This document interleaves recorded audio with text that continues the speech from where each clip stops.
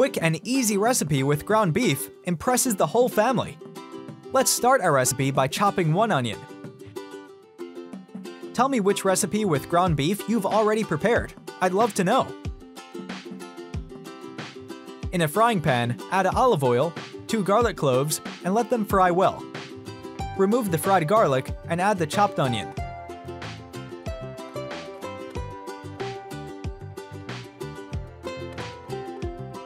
When the onion is fried, add 400 grams of ground beef and stir. And before I forget, tell me where you're watching us from so I can send you a big hug. Today's hug is for Linda Reinheimer from Australia. I'm happy to hear you're enjoying our recipes. You guys, try this recipe at home and then come back here to tell me what you thought. I'm sure you'll love it.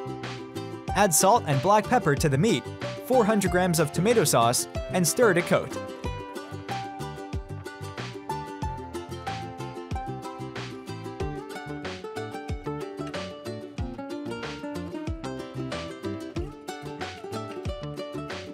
Add parsley to taste,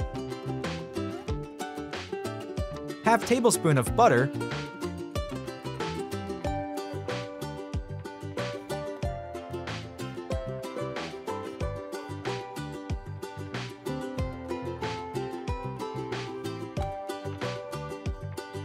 four eggs,